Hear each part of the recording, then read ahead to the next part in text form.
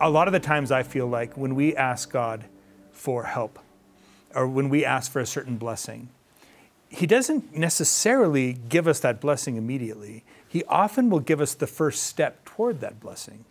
And we start a path toward that blessing. And I believe He immediately will help us toward it. I think He helped me toward what I wanted. But it took years for me to see that, mm-hmm. oh, this was a path that actually worked. God had a plan. And, and now I get to do my favorite hobby as my job. Were there ever any moments along the way where you got frustrated and you questioned, is this really where I'm headed? It's taking so long and I want this to happen sooner.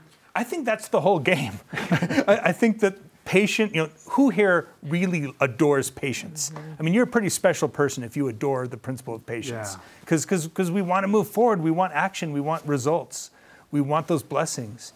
And a little bit of what James might be telling us is, hey, yeah, you can get to those blessings and you have to have the patience to endure the transformation process that will lead you there. I want to ask the audience when have you had to endure patiently while waiting for a blessing from our Heavenly Father? Pamela. You know, I really struggle with this one on a personal level. It's really hard to be patient. And I think that you have to allow yourself to be patient with patience. Okay. patience is something to endure. It's hard, especially in this culture where everything is now, now, now. Yeah. You want things now. And I find that even with prayer, you want an answer quickly.